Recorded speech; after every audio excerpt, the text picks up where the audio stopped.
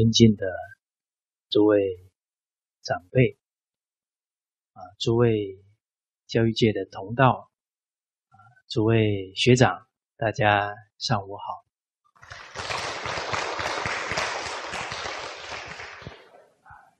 好久不见了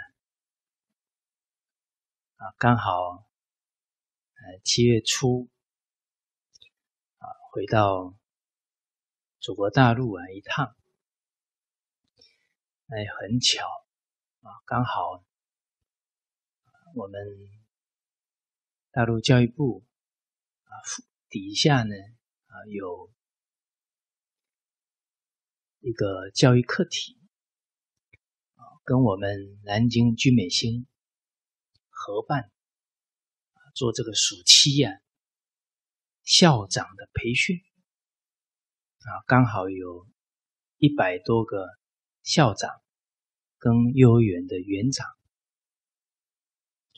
啊，参与了呢四天的课程，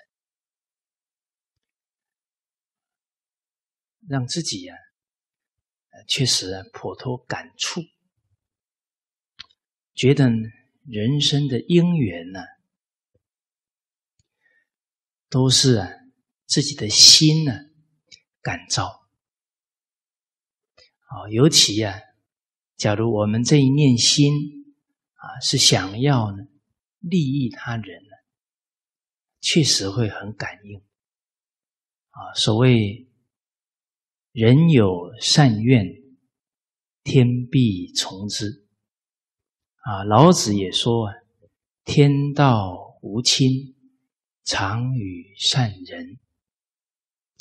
啊，而且呢，在这个大时代呀。我们有一点善心呢，就得到圣贤祖宗啊很大的护佑啊！不止护佑我们，甚至于啊，连我们的家人都得到很好的护佑。哦，这是这么多年来啊，啊，在我们自己同仁啊他的身上以及家庭啊，可以感受得到。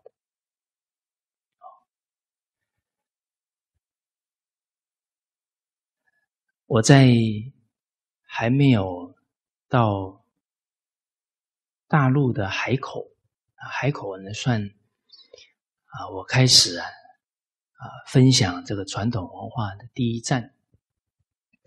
还没去以前呢，啊，我在台湾的报纸啊就看到呢有一个报道啊，是报道啊法轮功的。啊，说到啊，法轮功是比佛法更高的法。其实我们学儒道士的教诲啊，了解到呢，佛家是平等法。啊，佛看一切众生都是佛平等法，所以他这一句话就证明他根本就不懂佛法。哦，所以人有判断力非常重要。不然会被严重误导。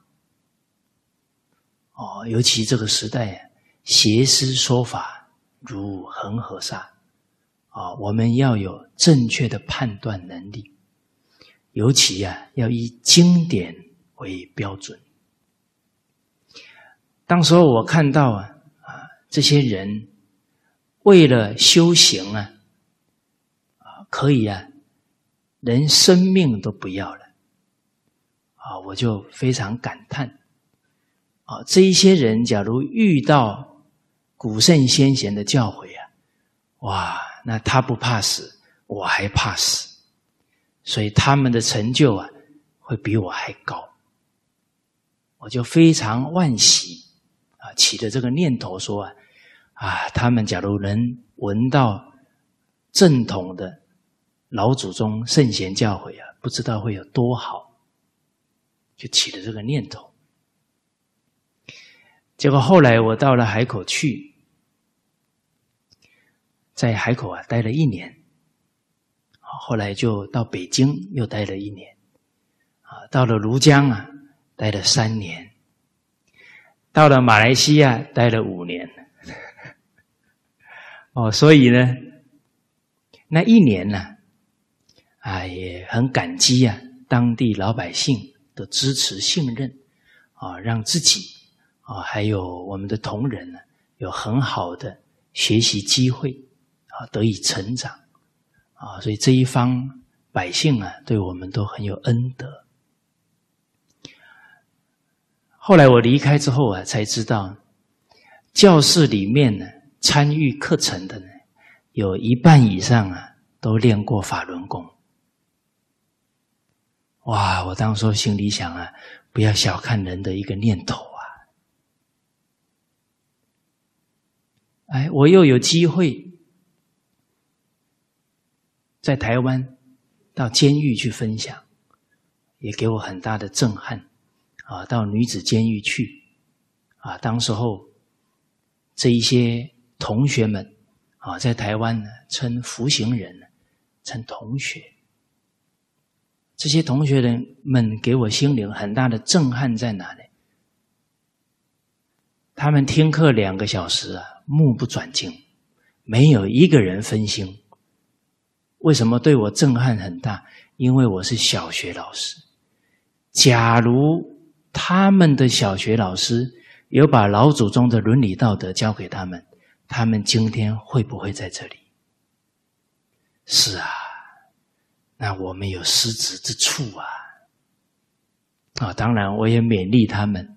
我说：你们今天两个小时目不转睛啊，你们以后都用这样的态度学习啊，你们不成圣贤多难啊！这物之宝，物自弃，圣与贤，可寻之。所以自己啊，对于这个监狱里面的这些同学啊。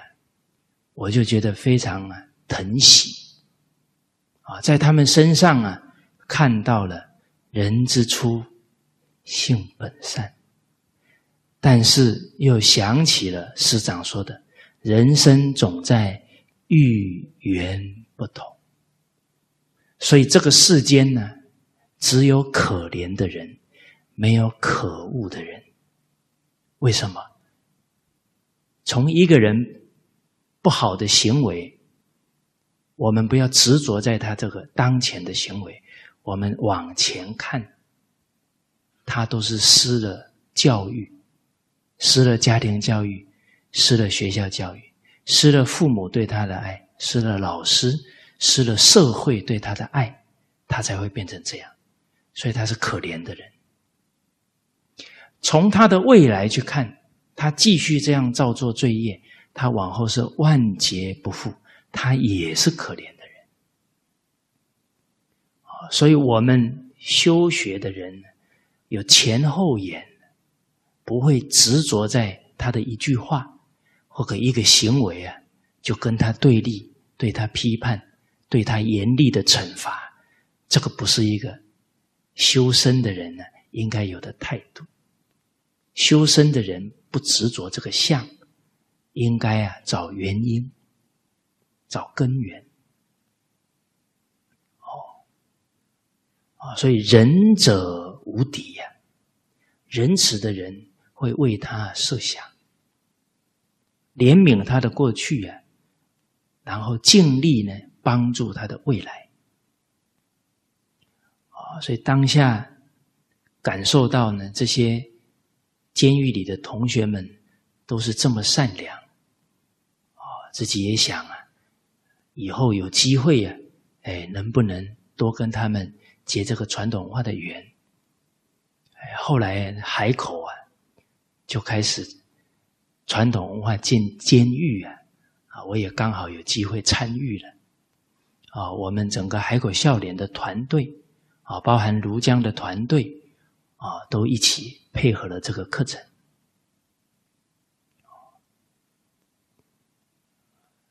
哎，所以啊，人有这个心愿呢，真的都会实现哦。所以跟诸位学长共勉呢，啊常常发心，见义勇为。你说我现在能力不够啊，首先你发这一念心呢，那个念力非常好。说不定你这个念力啊，就可以触动有能力的人。哦，你讲出来，有能力人被你感动啊！哦，就像白方礼老先生，他感动了多少人出来奉献？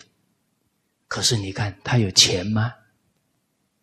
他有比我们好的体力吗？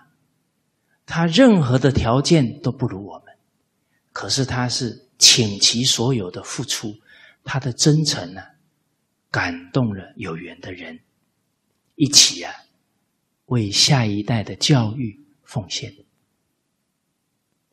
哦，啊，所以都不要小看了自己的一一个心念。哦，包含我在零五年呢，啊，我住在北京啊，当时候。跟非常多所大学啊进行了传统文化的分享哦，当时候北大、清华啊、农业大学哦，还有我们前温总理啊，他的母校地质大学啊，我在那里刚好有分享一个学习的课程，这些大学生呢也给我很大的震动。啊他们学习啊非常认真啊！我记得在第四大学分享的时候，他们那个专注啊，让我震动，都可以感觉到啊，两句话中间那个停顿呢，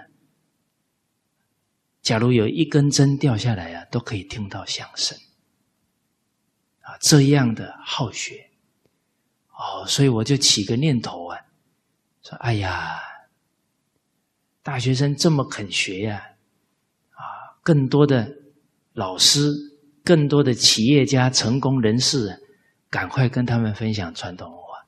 我见人就讲啊，啊，比方企业家学传统文化，你们是成功人士代表，哎，你赶紧去大学讲。啊，结果我这一次要飞回马来西亚，路经广州机场。那刚好，机场的报纸啊就写了，啊，广东的中山大学啊，中山大学在广东省是最好的学校，啊，规定了每一个大一新生进校以前呢，要做三十个小时的义工，啊，还有啊，进校以前呢，要把《弟子规》学过。我还这学校哎，现在也很重视传统文化。而去年的十月，山西大同大学啊，他们对大一新生进行为期七天左右的传统文化培训。他们已经做第五年了，从零九年开始做起。那刚好。去年呢，他们把它呢全程录像，啊，李玉老师啊跟我啊都有去参与，哎，结果录像下来啊，他们说到呢，现在在不少大学呀，啊学校呢拿这一套光碟在给学生呢做传统文化的培训，啊，我听了很欢喜，啊，当时候的心愿呢，啊，又又能。啊，有发展啊，所以人发心呢很好，哎，都能满我们的愿。哦，那这一次啊，到南京去啊，也是因为我之前呢有起过这样的心愿啊，因为我的父母啊都是师范学院毕业啊，台南师范学院啊，我当时候考上了，跟我爸爸。妈妈开个玩笑，啊，说我今天考上了，我升级了，升什么级呢？变成我爸爸妈妈的学弟了。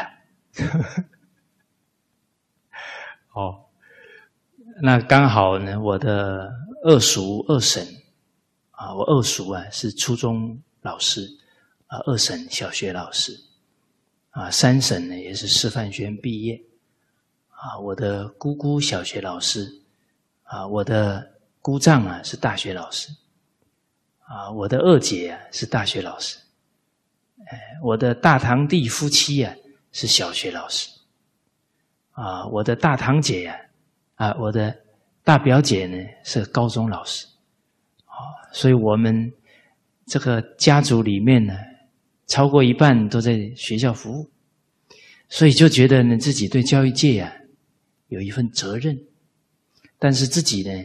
有十一年，十年前呢，就从教育界退下来了，啊，是走分享传统文化的路，啊，结果这一次本来是要去北京，后来因缘变化了，去了南京，啊，刚好参与了这个课程，也满了我的一个心愿，啊，因为刚好啊。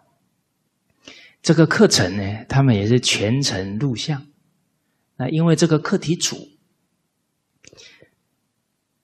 他们录像之后呢，在他们底下的学校啊，都要以这套光碟啊去做学习。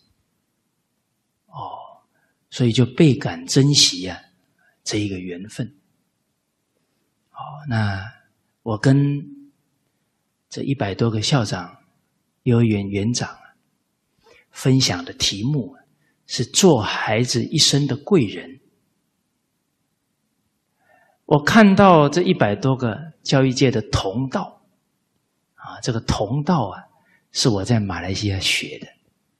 哎，我觉得这个名词太好了，赶快拿回祖国去。啊，同道中人，同样的目标，同样的方向，同样的使命。就是要啊振兴师道，振兴中华文化，恢复知识分子的气节。知识分子在古代最受尊重，士农工商。那社会为什么尊重知识分子？因为知识分子。以天下的兴亡为己任，所以值得人尊重啊。而看到这些教育界的同道，我不止看到了一百多个人。诸位学长，你猜我看到多少人？我估计了一下，最少一二十万人，因为一百多个校长。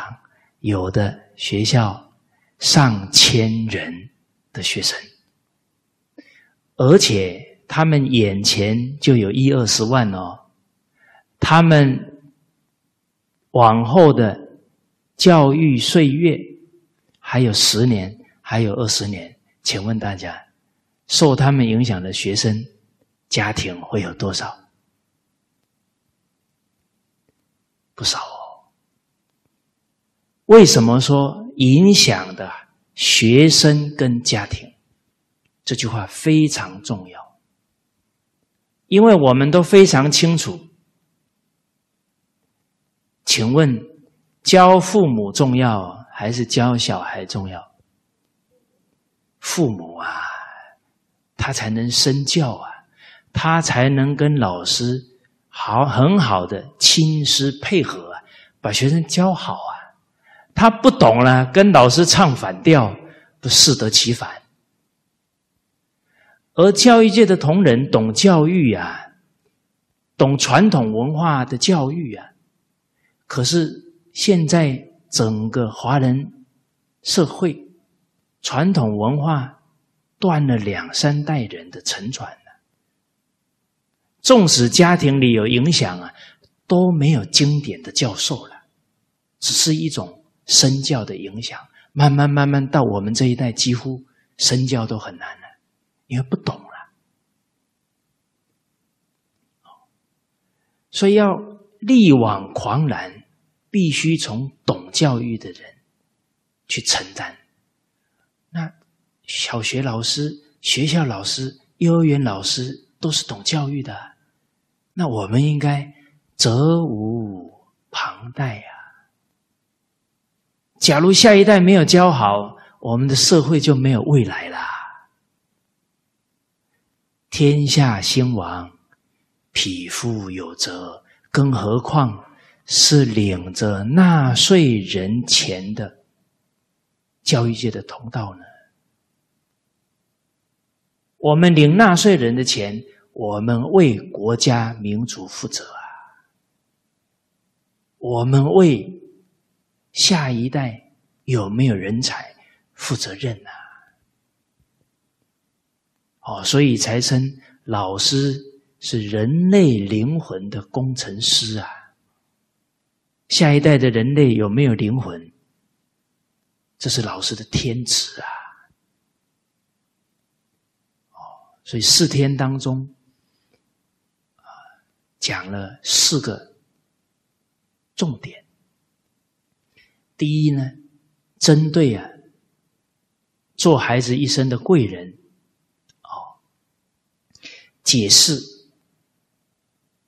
这个讲题啊，我们对讲题体悟的更深，对接下来吸收的心态就越好，越相应。啊，比方我曾经在海口有一个太太走进来啊，刚好很巧。我们在海口啊，零四年七月份办了第一次的幸福人生讲座，五天的培训。他没有报名，他可能刚好经过啊，就走进教室，教室摆了一本教师手册，他一打开来看到学《弟子规》，他说：“哦，《弟子规》，小孩学的，盖起来就出去了。”那他对于《弟子规》三个字啊，他只用表面去理解。什么是弟子？在家是父母的弟子，在学校是老师的弟子，啊，在社会是领导的弟子，各行各业你也要拜师傅学习啊。啊，在整个民族，我们是祖先跟圣贤人的弟子。啊，那这个弟子就很广了。那你要是好弟子，你才能吸收父母、老师跟领导的智慧跟经验呢。那谁不应该学？那不学《弟子规》，就不具备弟子的态度，就不可能承传父母、老师、领导、祖先的智慧。那他就不听老人言，他就吃亏在眼前。所以不学《弟子规》的人，铁定吃亏。哇，他假如知道不学吃亏了，那他就不会走了。哦，所以这个解释这个题目啊，啊是第一个重点。做孩子一生的贵人，请问什么时候开始做？谁来做？如何做？要做到什么程度？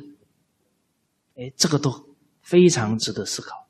我们都把它想清楚了，那学起来不一样。为什么？搞明白了就知道，这句句啊，对我都很重要，不是讲给别人听的。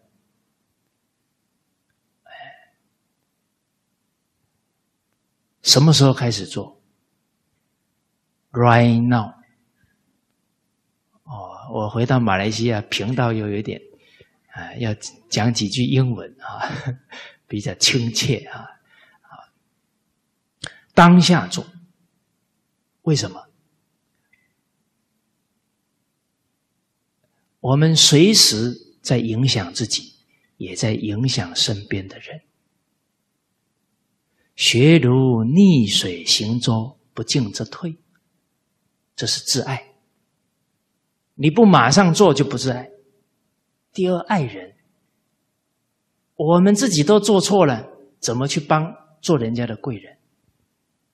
所以当下就要做，就要有这种责任感，这才是真正对得起我们生命当中的家人、朋友、学生，对得起我们生命当中的有缘人，这叫道义人生。谁来做呢？君、亲、师都要做。君，领导者；亲，长辈、父母、家人；师，老师，这三个重要的角色。再延伸开来呢，每一个人都要做，因为我们对社会有责任。我们做了，社会风气就因为我们而改善，看到的人都感动，这是我们的责任，是我们每一个地球人、每一个华人、每一个国人的责任！所以每个人都应该做，尤其军亲师这三个角色。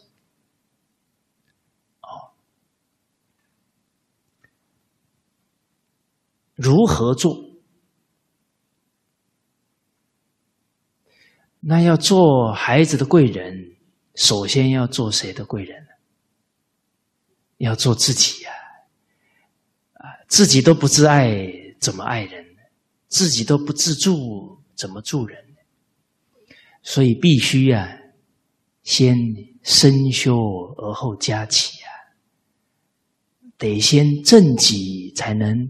化人，所以怎么做？君子务本，先从格物，先从修身开始做起。哦，我们要做孩子的贵人，我们要先深入圣贤教诲，我们先要做一个圣贤的好弟子，我们才才可以做人家的贵人。呃，我们不是一个好弟子，怎么成为一个好老师呢？哦，所以这个如何做，要务本，做到什么程度？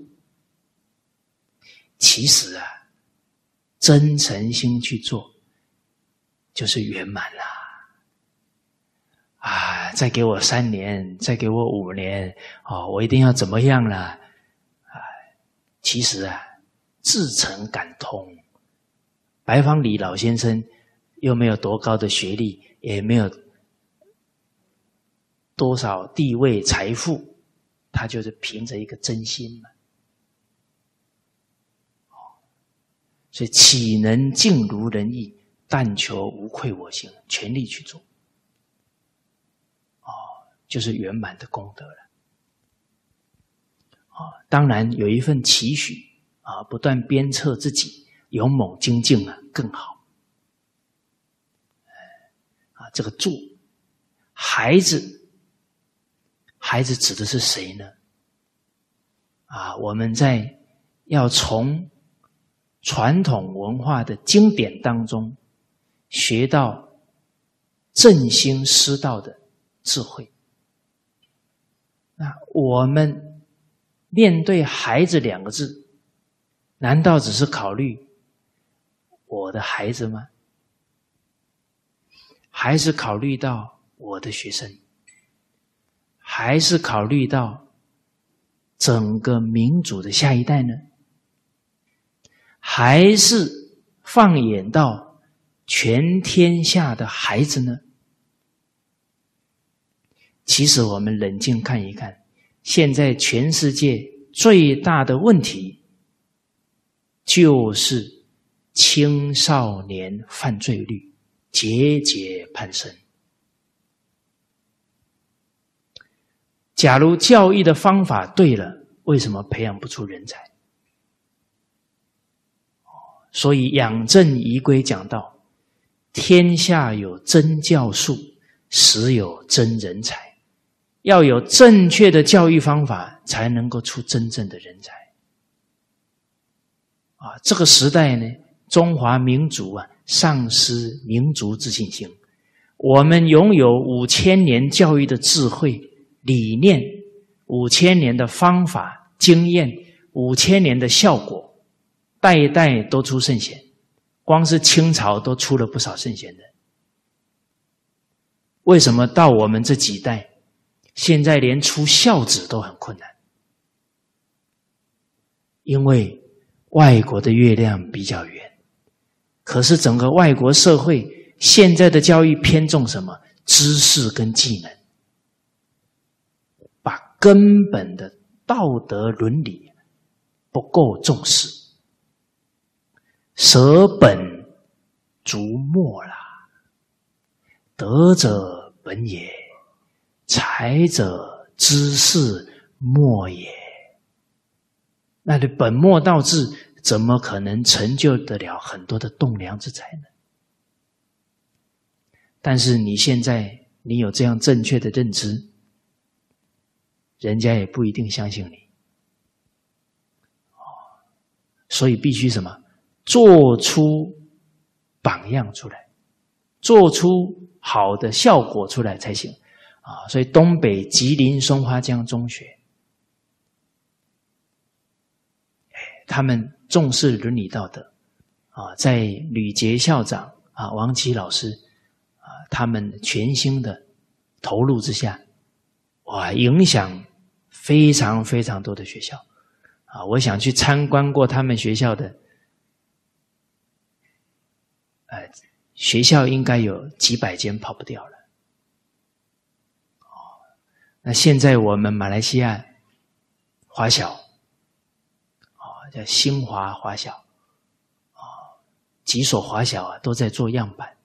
啊，也有不少学校到他们啊贵校去参观的，这个在这个时代非常重要啊。所以，对于传统文化复兴贡献最大的，就是做出榜样的人，做出榜样的学校、家庭、单位，这个最可贵，因为他们做好了，就给所有学习还有没有学习的人坚定的信心。不会，人家几句话他就他就漏气了，他就泄气了。啊，信为道源功德母啊，信心太重要。而我们现在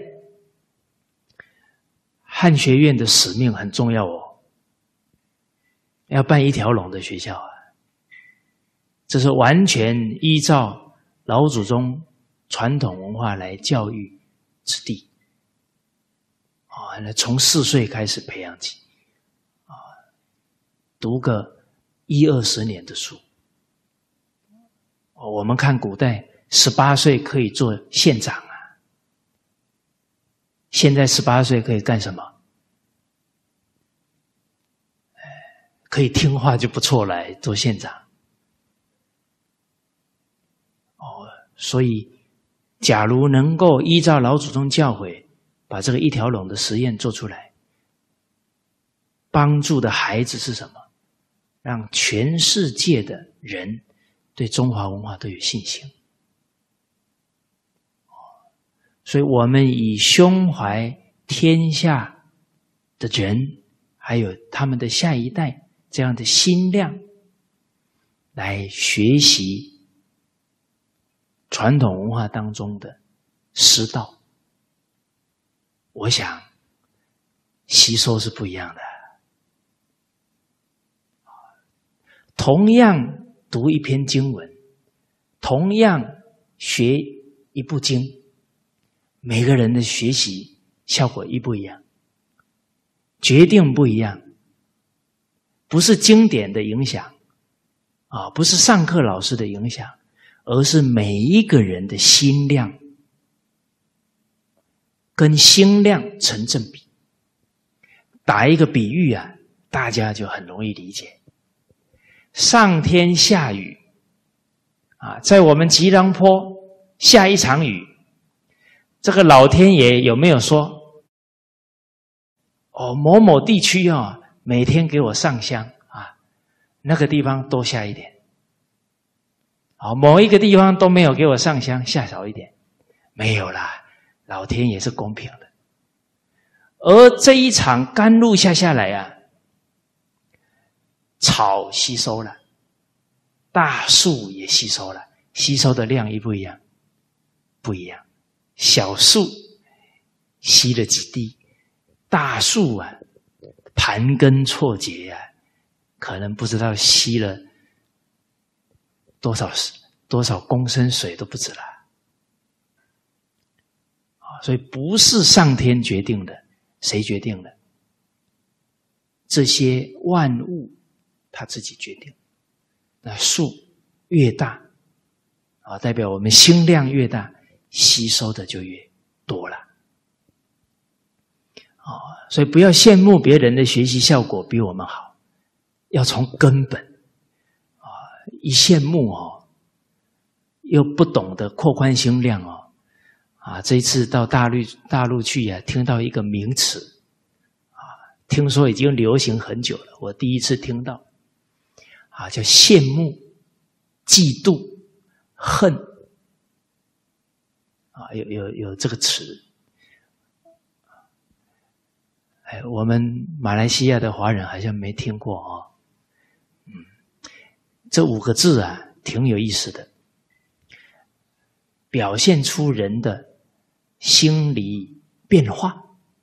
羡慕一开始羡慕啊，开始慢慢慢慢羡慕久了变什么？哼，有什么了不起？嫉妒了，哎，嫉妒再严重呢，恨了，采取行动了，找他麻烦了，横批没学过《弟子规》，是吧？为什么见人善即思齐啊？他就不会往这里发展。哎，所以圣教很重要啊。为什么？因为。这五个字啊，大家都在讲啊，讲到最后变什么？这种心理反应叫正常，其实它是不正常啊，应该叫羡慕、效法、学习啊，然后弃入，这样才对了。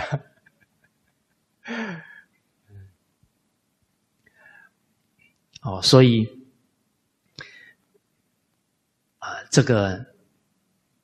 上天是公平的，啊，看我们自己的心量啊，所以量大不止福大，量大智慧提升的也快，因为它吸收的快呀。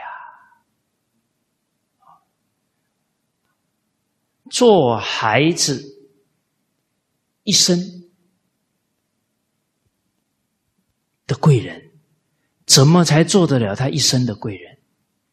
父母、老师、领导者，他的着眼是什么？不是他眼前的成绩、分数跟学历而已，是着眼在成就他一辈子最重要的做人做事的态度。要有这种眼光啊！那最好是有范仲淹的眼光啊！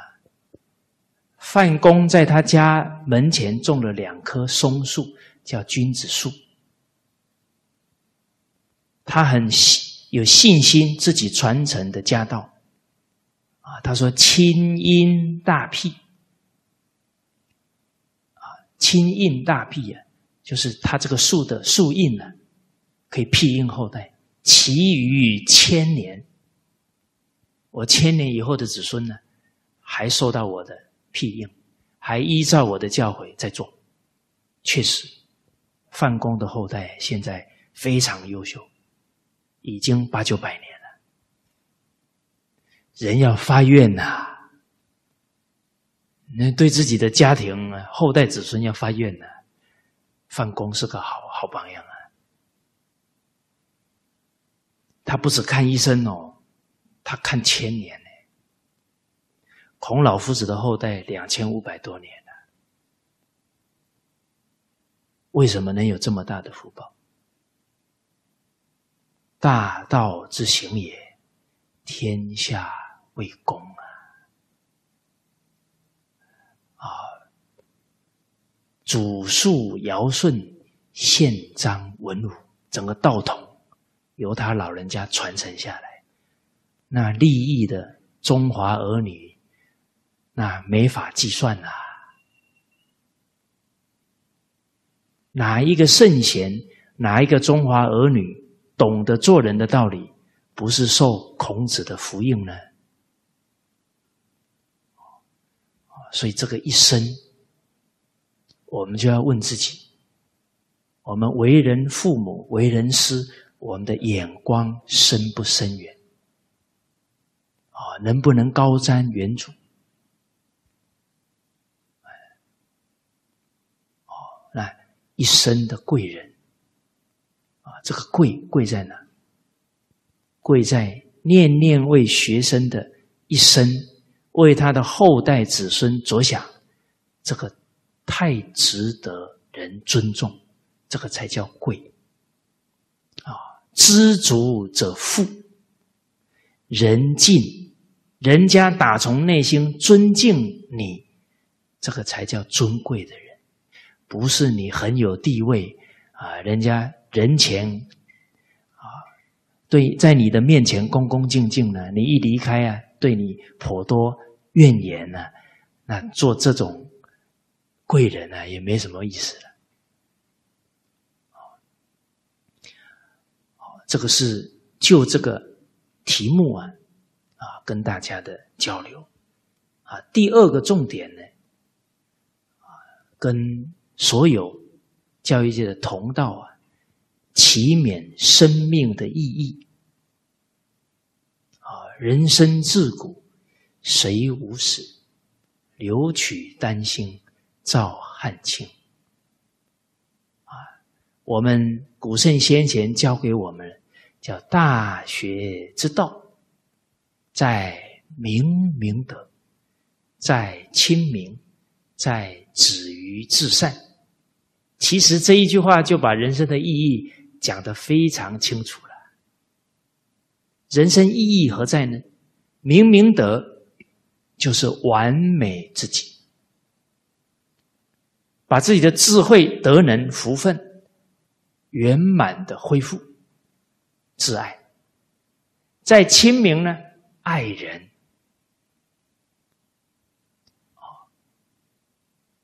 爱学生，爱生命当中的有缘人，啊，爱自己跟爱别人做到圆满了。止于至善，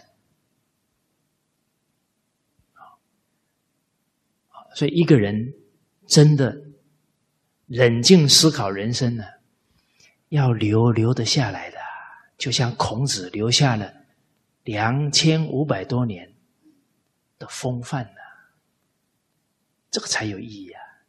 很多人留钱下来，变成孩子的祸根。兄弟姐妹就为了争这个钱财，告上法院，那没有智慧啊！留留得下来的德行风范，努力带得走的，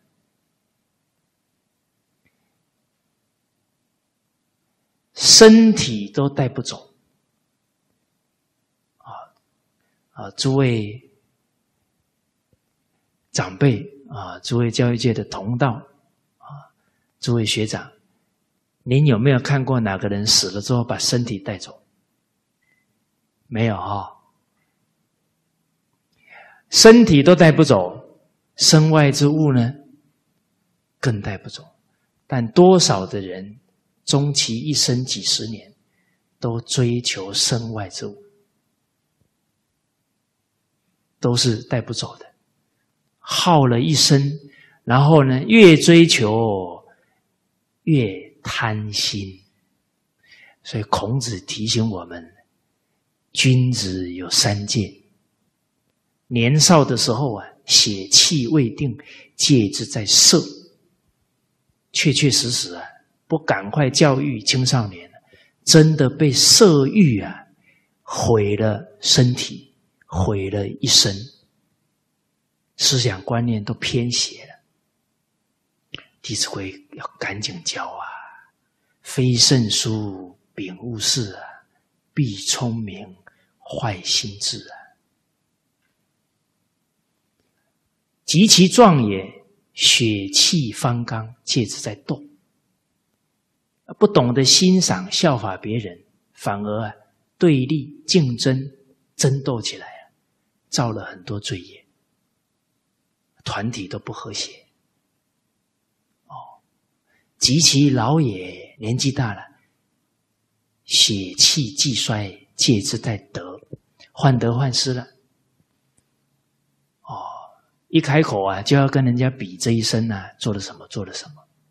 哦，或者就要比啊，我儿子赚多少钱，我女儿学历多高，哎呀，累死了。越活越累啊，越活越笑不出来了。哦，所以不读经典呢，开不了人生的慧眼会越活越堕落啊。所以努力留得下来的家道家风，一生的德行风范。努力带得走的灵性的提升，灵性的智慧，一生所行的善事都带得走。所以第二个重点，生命的意义啊。现在这个时代的人很可怜呢，没有经典的教诲啊，开不了慧眼啊，把人生的意义啊，都在追求名利。追求欲望啊！现在整个社会最严重的问题，拜金主义、享乐主义。拜金叫利啊，享乐叫欲啊，利欲熏心啊，最后就麻木不仁，不管妻儿，不管父母，就在那里纵欲。所以现在人为什么文明病那么多？身体乱搞啊，罪业又多啊，哪有可能健康长寿？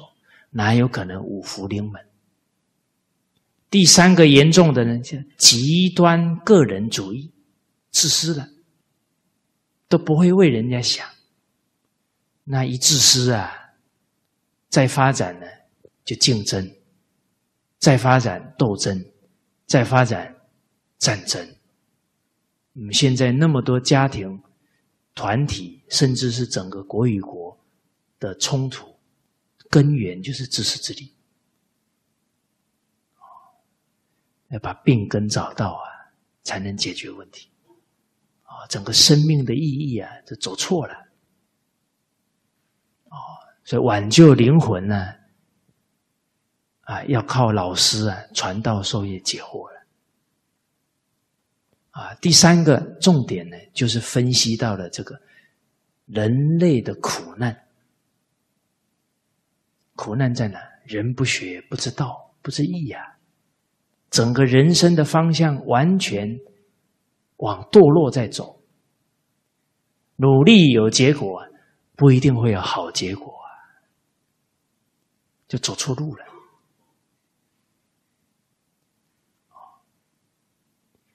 第四个，我们既知啊人类的苦难，啊，那当今之事，舍我其谁？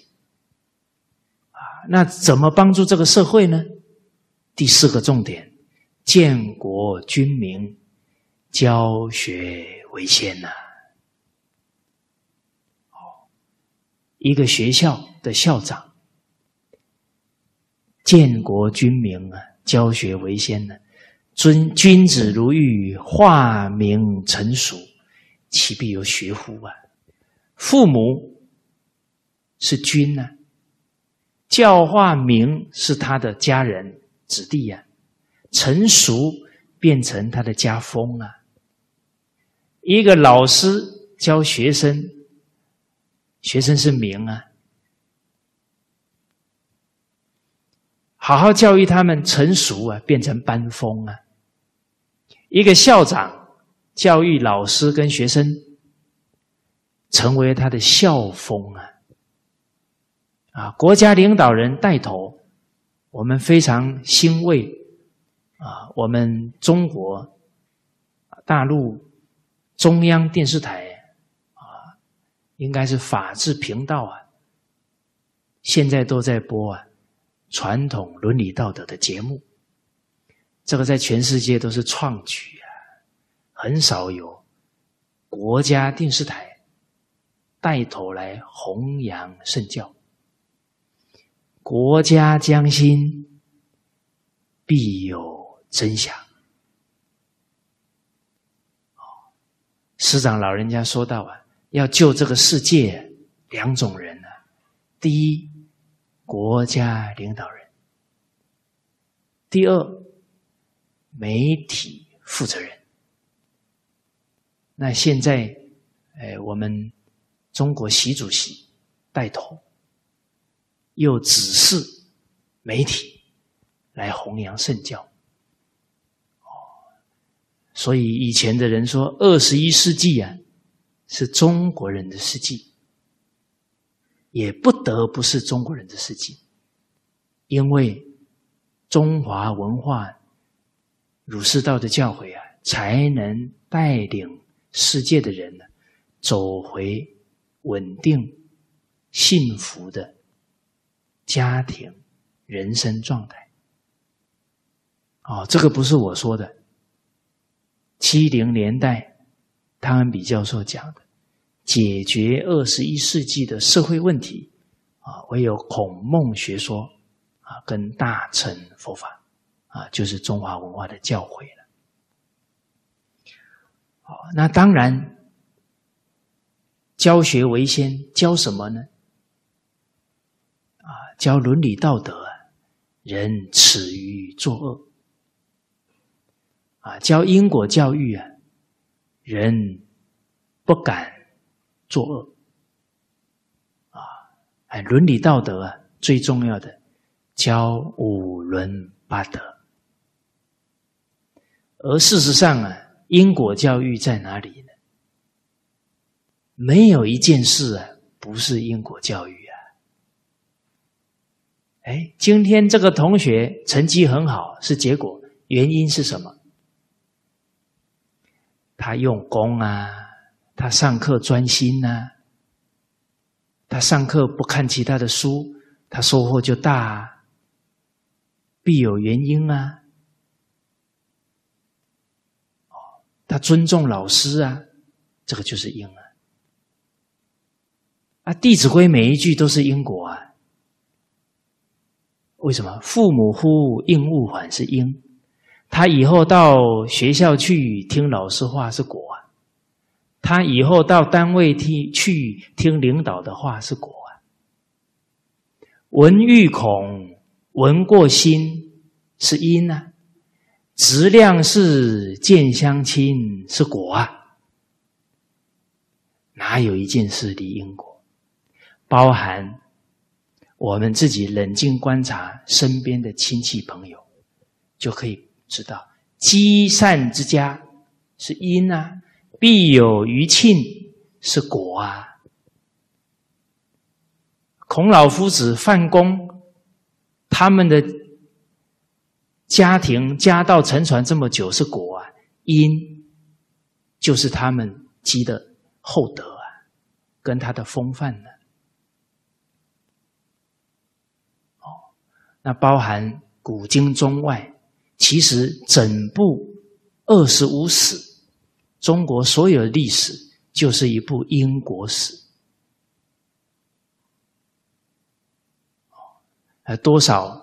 留名青史的圣贤人后代非常好哦，你看鲍叔牙推荐管仲，他后代历史当中都有记载，十几世都是名大夫，后代很有福报啊。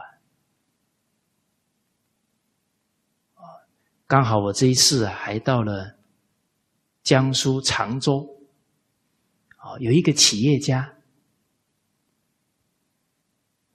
他是做净水处理的，啊，我看他乐在工作，啊，他每一次把那个染污的水啊，啊，用他的方法变清净了，他就像个小孩一样高兴，啊，太好了，啊，人可以喝到好水了，啊，而且啊，他精通易经，刚好啊，他被邀请啊。到马来西亚来，啊，要指导啊这个净水。结果呢，他出门前呢卜了一卦，啊，他姓李。这一卦呢，代表啊，他这一次来马来西亚，这个事业啊，这个这一次的这个生意啊，应该做不成啊，他卜的卦。结果他就起了个念头，他说：“纵使做不成呢，我也应该把中国最顶尖的净水技术要传到马来西亚，啊，来利益华人、利益这一方的人民。”他就起了这个念头。结果啊，这个生意谈成了，啊，签了。签了契那个契约了，哎，本来谈不成，怎么谈成了？大家看到没有？怎么改变命运呢？量大心量啊，心念的力量啊，他是为了一个国家的人民健康着想，这一念心啊。就转了这个姻缘了，啊，所以很多国家领导人要参加选举啊，啊，都都去请教师长，哎，哎，也是担心啊，我会不会选不上啊？师长告诉他，你只要发心，啊，我上任之后啊，要爱民如子，要把最好的圣贤教诲。啊去弘扬，去承传，啊，你本来选不上啊，也选得上，啊，所以人要改命运呢，要发广大的誓愿，来利益众生，哦，所以当时候啊，听师长，啊，当时候台湾不少官员去找过师长，师长都是这么劝勉他。啊我突然就想到这个李总，他这一念心呢，哎，证明了，哎，人发愿之后啊，因缘可以转变。啊，那我去到常州啊，啊，到他们家，啊，他们非常热情招待。他他是学易经的嘛，啊，我也。跟他开开玩笑，我说：“我们今天坐这一桌吃饭呢，也应该卜个卦啊，因为他坐我右边嘛。另外一位呢，姓刘的总经理啊，刘总啊，一个坐我左边，一个坐我右边。我说这一卦非常好，为什么呢？汉朝啊。”是刘家的天下，唐朝啊是李家的天下，所以这一卦叫重现汉唐。哦，所以传统文化要从你们常州发扬光大。我看他们每一个人都抬头挺胸，哎，都很有责任感。哦，所以，哎。俗话讲呢，读万卷书啊，行万里路啊，啊，还要阅人无数啊，还要广交天下事啊，从他们身上呢学到非常可贵的，做人的美德。哦，所以这个教学为先，啊，要怎么？形成风俗，得要领导者带头。现在得要我们中华民族的儿女啊来带头了。啊，所以第五个重点呢，啊，要谈的呢，就是啊，正心师道，啊，就是师道尊严，这个是第五个重点。啊，师道怎么恢复尊严？一定要恢复，因为中华文化最重要的两股精神就是孝道跟师道。宗庙、祠堂教孝道，慎终追远，明德归厚；孔庙教道德，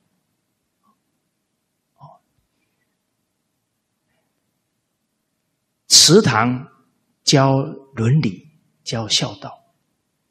哦，孔庙啊教道德、伦理道德；城隍庙。叫因果报应，这是我们老祖先教育的高度智慧呀！啊，现在城隍庙没有了，那祠堂啊，现在变小家庭，哦，所以现在很多地方建百姓宗祠、万姓宗祠非常难得。哦，那师道。如何能够振兴起来？因为没有师道，人不尊重老师，他怎么可以得到学问的利益呢？啊，因为一分沉静得一分利益，十分沉静得十分利益。啊，师长老人家用心良苦啊。提醒我们呢，这两个字是关键的，所以后面又加了百分沉静得百分利益，千分沉静得千分利益，万分沉静得万分利益，而且还举了我们。中华儿女耳熟能详的一个历史人物啊，唐朝禅宗六祖慧能大师的例子。他听他的老师讲课，只听了差不多两个小时、两三个小时的时间，听了半部《金刚经》的讲解。他就开悟了，根本在哪？开悟是结果，根本是他什么？万分的沉静，是他受的利益就就是这么大啊！当时候他才二十四岁呀，啊，所以人要有高度的智慧，不一定是要晚年呐，根本还是。沉静的心决定的。那学生要尊重老师，他才能受益，所以师道重要。但我们老师要自重，人才会重啊，才会尊重啊。老师不尊重自己的天命。失了职守，怎么可能赢得父母、啊家长、学生、社会大众的信任呢？啊，最近一些报道也让我们非常忧心啊，非常痛心啊！教育界有一些害群之马，做了一些事情。啊，对学生呢有很大的损害。当时候我就想到啊，德有伤，贻亲羞啊。他这个道德有损伤了，不止他个人，他的家庭蒙羞，整个教育界都被他拖下水。所以他这个罪业非常非常的重。更严重的是，家长、学生假如不信任老师。他就不可能学到了，而我们刚刚也讲了，这个世间呢没有恶人，只有可怜的人。这些犯错的教育界人员，他们造的罪业太大太大，他们也曾经带着使命走入教育界。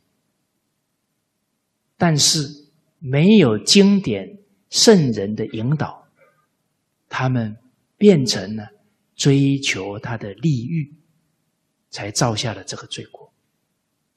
哦，人非圣贤，孰能无过？过而能改，善莫大焉。所以现在让他们回头最重要。事情都已经发生了，要赶紧教育他们。哦，人不学不知道，不知义呀。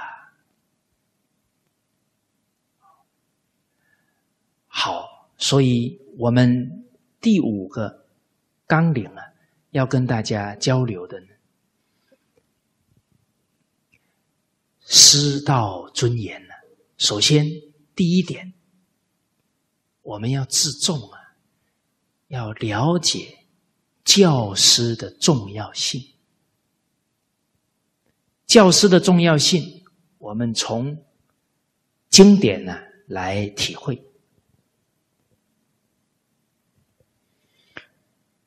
我们刚一起啊学过教化这一个单元。我们翻到两百一十八句，一百三十页，再来啊，复习一下。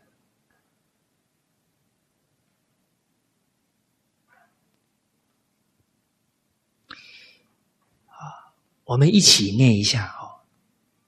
不知礼义，不可以行法。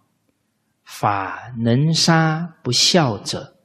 而不能使人为恐憎之行，法能行窃盗者，而不能使人为伯夷之廉。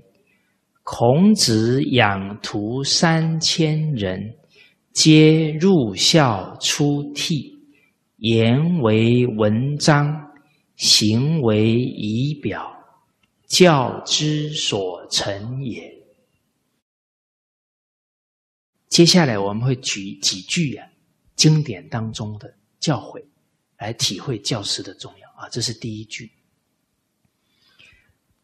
一开始就讲人民不懂得礼义，国家有了法律实行不了，甚至实行了，社会治安也不见得会比较好。我们冷静看一看。现在犯罪率高的地方，难道是法律比较不健全吗？我们不举其他的，举美国就好了。美国的法律健全状况决定排在前面，可是它的犯罪率很高。假如不教化，法律呀是症状解，症状是辅助，不从根本解决。问题一定还会层出不穷，所以老子提醒我们：法律之章，盗贼多有。法律非常严苛的地方啊，盗贼还是很多啊。接下来说明了，法律能将不孝的人处死，却不能使人效法孔子、曾子他们的孝行。他们的情操，法能够处罚这些窃盗的人，但是却不能向人有伯夷叔齐这样廉洁的德风啊！所以这个是更明显的体会到，根本还是要靠教化啊！举了最好的榜样。孔子养徒三千人，啊，培养了学生三千人，个个都可以怎么样做到啊？入校出体，在家恪尽孝道，出外恭敬长上，言为文章，说出来的话都成为人们依循的做人准则，行为仪表，啊，行为。都成为大众的表率，三千人啊，这都影响一方啊，教化一方啊，教之所成也。这些都是教化的结果。哦，我们现在从事教育工作，社会大众都缺乏传统文化教育，每一个人呢，念完这一段话，都要期许自己做现代的孔子。跟大家做一个历史上的探讨。六祖慧能大师教了四十三个学生成就，才把禅宗红传到全中国。四十三个哦，现在中华文化呢，不只是佛家，不只是一个宗派的复兴，哎，是什么？是儒释道。全部都面临危急存亡之际，这个法脉都快断了。那大家用数学算一算，要多少人来乘船？这个四十三要乘以多少？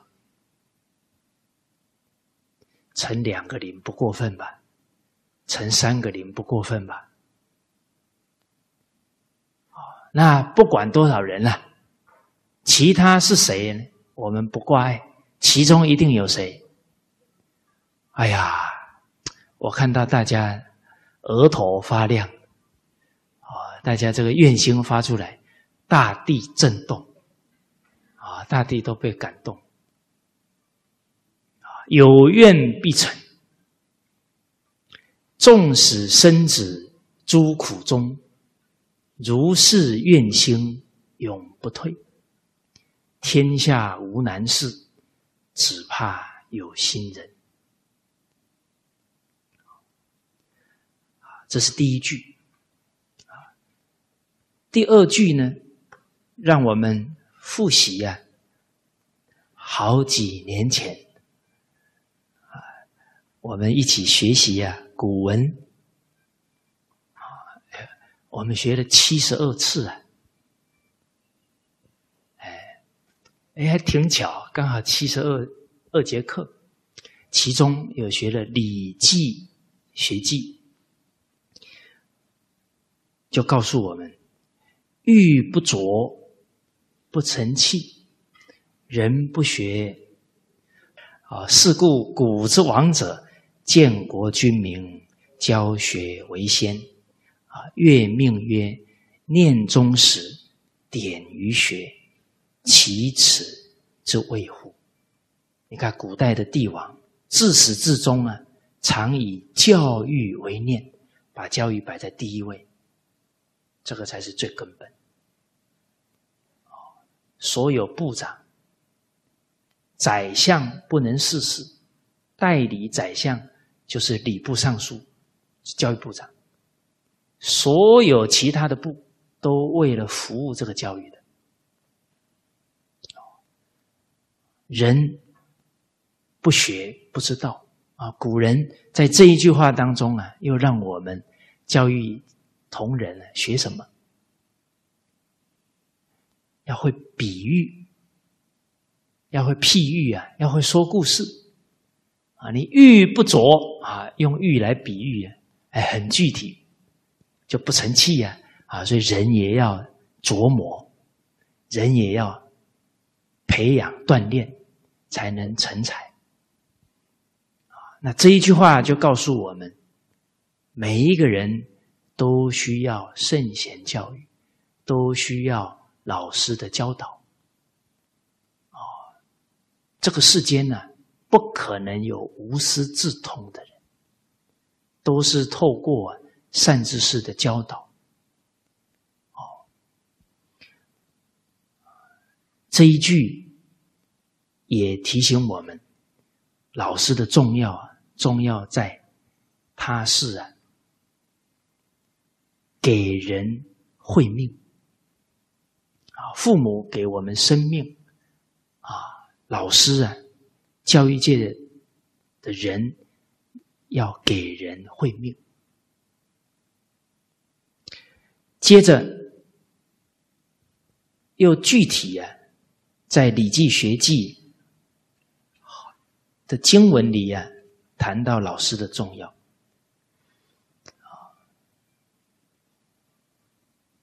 也是用譬喻的，啊，我给大家念一段呢，大家一定可以想得起来。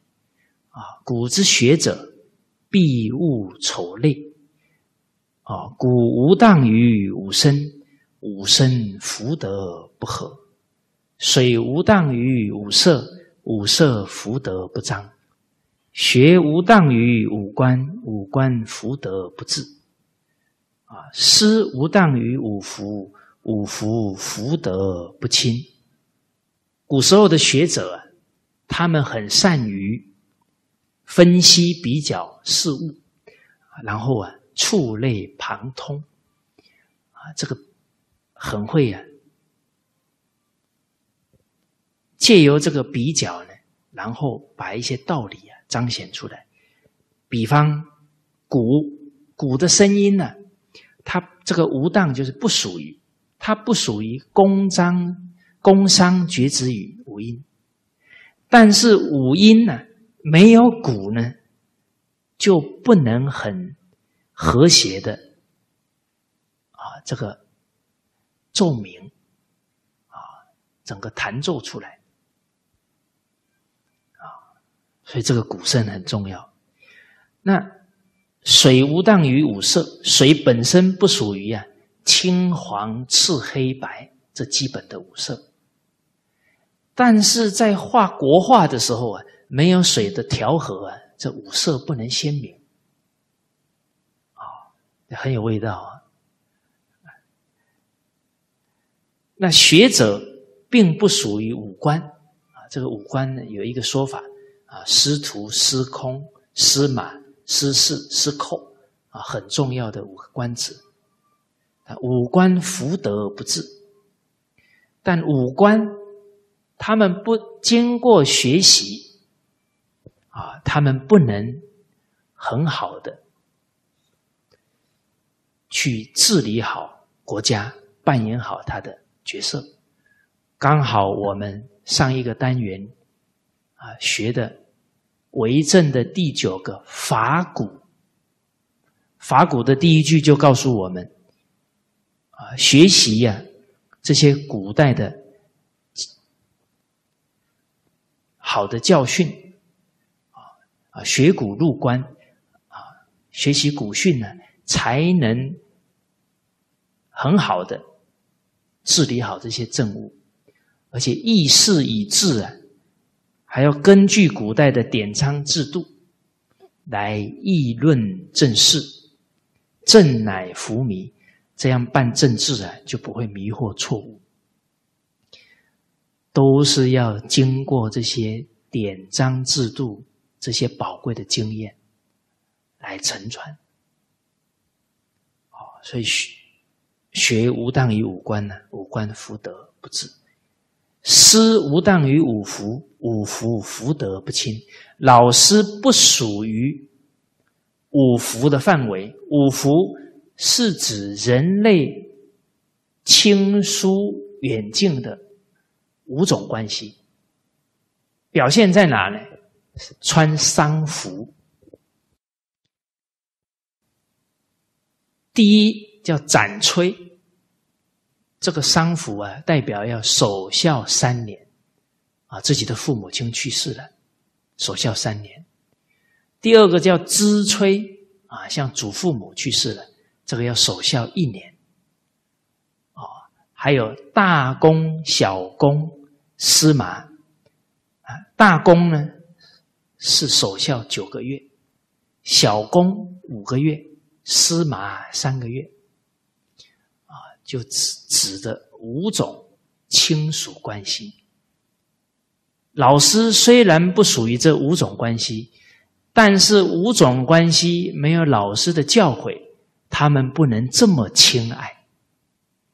啊，所以父母教孩子尊重老师，老师教学生孝顺父母，这个是最关键的。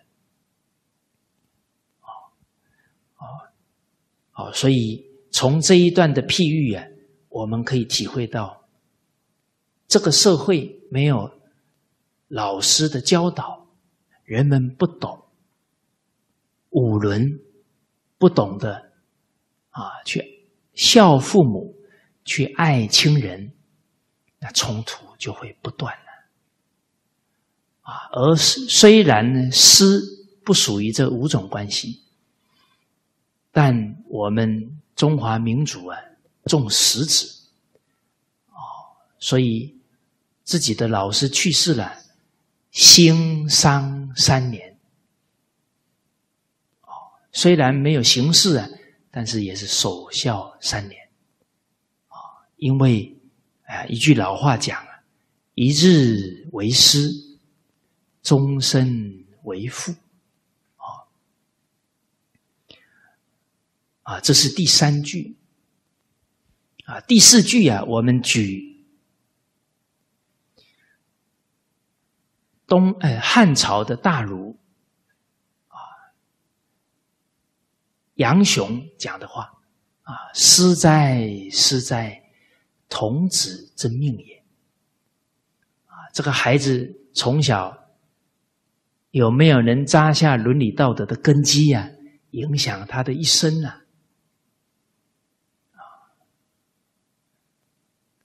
哦，所以人类灵魂的工程师啊，在汉朝啊，大儒就在强调了啊，因为孩子到学校去，他讲话呢。从我爸爸说，我妈妈说，啊，慢慢的会我们老师说，啊，代表老师在他心目当中是非常崇高的。我们要珍惜呀，孩子的信任，啊，珍惜啊，跟孩子啊这一段的法缘呢。第五呢？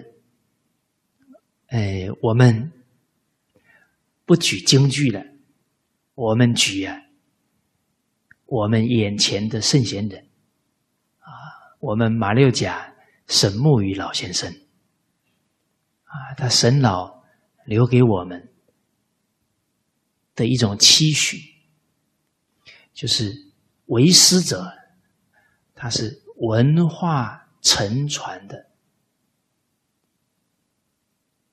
重要责任者，叫文化承传要靠老师啊！我记得当时候啊，能够啊拜见神老啊，当时候老人家虽然短短的相聚啊，对我们一生都有很深的影响，因为老人家首先邀请我们。唱了一首抗日爱国歌曲，而且啊，是他老人家亲自弹风琴，我们一起唱的，啊，那种忠贞爱国的情操啊，让我们印象深刻。啊，接着呢，沈老讲啊，当老师哦是没有前途的行业，啊，这个要写一下哈，不然会误会。但是，却是最重要的行业，因为文化承传要靠老师。而香港有一个华裔写了一篇文章，说到中国人拥有全世界最悠久的文化，但是因为文化没有承传，却变成了。最短视的民主，短视到呢，为了几百块、几千块，可以伤害自己的至亲父母。其实我看到这一段最深的感觉，就是文化一不承传，整个民族灵魂呢，快速堕落。啊，后来又听到沈老这一段话，终身难忘啊。而我在零二年啊见到啊我一位长者啊啊，卢叔叔，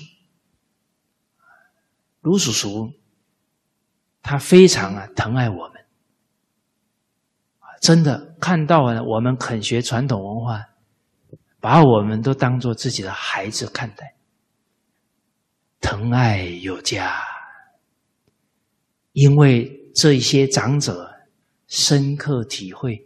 文化承传的重要啊！他把为国家民族培养人才摆的比他的孩子更前面啊！他们那种胸怀啊，确实让我们非常的仰慕、钦佩啊！啊，这个五句啊。跟大家做一个交流分享。接着第二个重点，尊师方能重道，尊重老师才能尊重道德学问呢。那第一。句呢，跟大家分享的京剧啊，也是我们《礼记学记》里的经文。好，我们再复习一下。啊，凡学之道，言师为难。师言然后道尊，道尊然后明之敬学。啊，这是经典经文上啊就可以展现出来。啊，所以在古代呢，皇帝啊不以君臣之礼相待的，只有两种臣子。第一，就是这个臣子啊跟他的祖先长得很像，啊，每一次祭祀啊就请这个人上去啊，那不以臣子，为什么？下一次要。他要上去了，就不好，提不起恭敬了。哦，所以这个不以臣子之礼待他，因为他以后要代代表祖先在那里给我们礼拜嘛。第二呢，就是面对自己的老师，是以啊主人跟客人东道主，东西坐，所以老师叫西席，这也是表现出啊尊重老师的态度。好，那这一节课啊，我们先跟大家交流到这里。好，谢谢大家。